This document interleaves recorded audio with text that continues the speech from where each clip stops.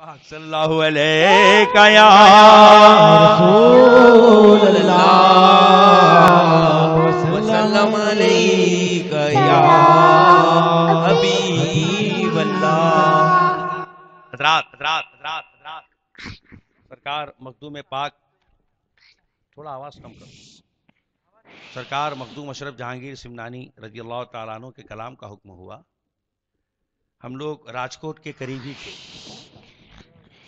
یہ نہ نہیں کہیں گے۔ انہی کی فرمائش پر چلتی گاڑی میں چلتی شاعری۔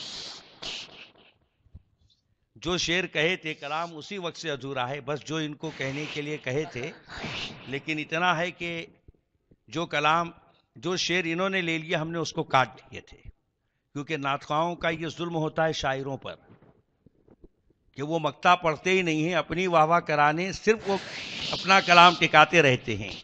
لہذا جہاں ایسے اکثر ناطخواں حضرات رہتے ہیں، میں ان کی بات نہیں کر رہا ہوں، آپ ان کا مت سوچئے گا۔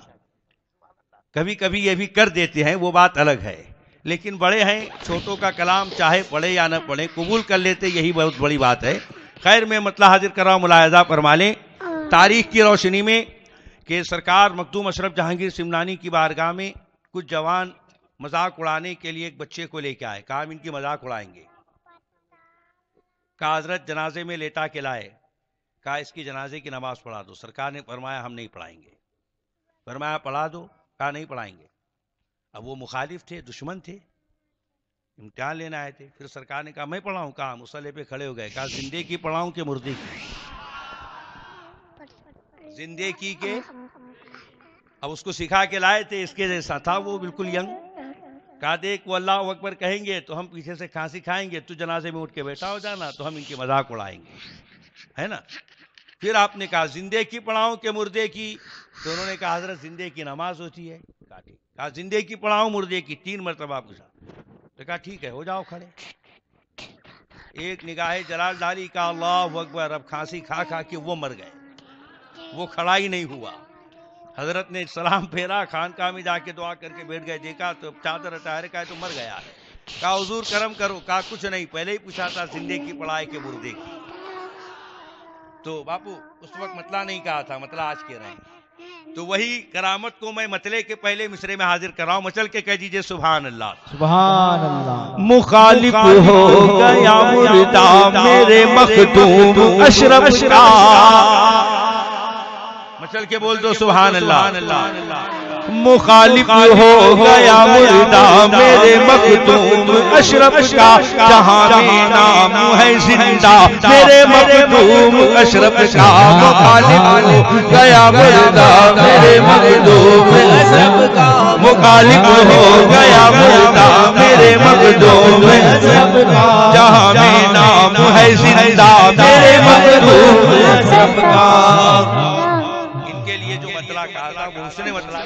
مچل کے کہہ دو سبحان اللہ۔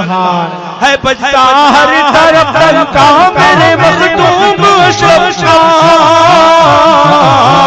ہے بجتا ہر طرف کا۔ میرے مخدوم ہے بجتا ہر طرف کا۔ میرے مخدوم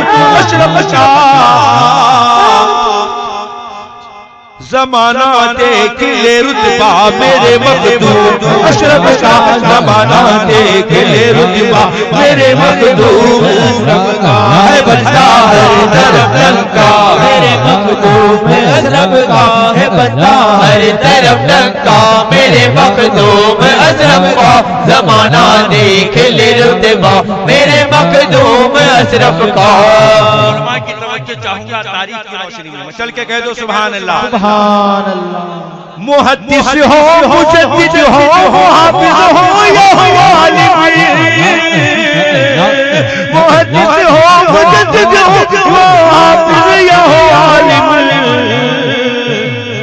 سبھی کے لب پہ ہے نغمہ میرے مخدوم۔ اشرف کا سبھی کے لب پہ ہے نغمہ میرے مخدوم۔ اشرف کا ہے بندہ۔ ہر طرف لنکا میرے مخدوم۔ اشرف کا ہے بندہ۔ ہر طرف لنکا میرے مخدوم۔ اشرف کا زمانہ دیکھ لے رتبہ۔ میرے مخدوم حضرت کا وہ مشرب جہانگیر سیانی جو بادشاہ خود تھے سلطنت کو چھوڑ دیا۔ آپ کو اگر دین کی خاطر چھوڑنے کا کہا جائے تو کیا چھوڑو گے؟ ہیں؟ ابھی کہا جائے کہ لاؤ مسجد کے لیے چندہ دو تو جو دس کی نوٹ ویمل والے نے نہیں لی ہوگی وہ آپ جھولی میں ڈالیں گے۔ ہاں صحیح کہہ رہے ہیں حضرت۔ ہاں لیکن پانچ سو ہزار بند ہوئی تو سب اونچے نیچے ہو گئے۔ لیکن اب دو ہزار کے پیچھے بھی مت پڑنا وہ بھی بند ہونے والی ہے۔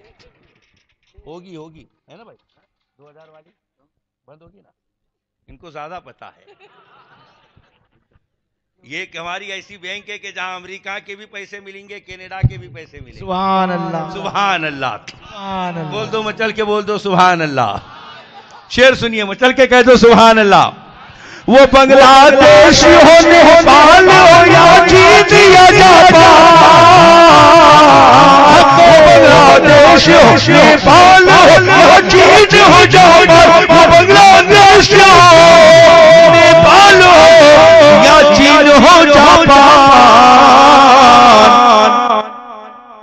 یہ ہندو پاک لگتا ہے، میرے مخدوم اشرف کا ہمارا دیکھ لے رتبہ میرے مخدوم اشرف کا ہے بندہ ہر طرف ڈنکا میرے مخدوم اشرف کا ہے بندہ ہر طرف ڈنکا میرے مخدوم اشرف کا زمانہ دیکھ لے، رتبہ، میرے مخدوم اشرف کا۔ جنہوں نے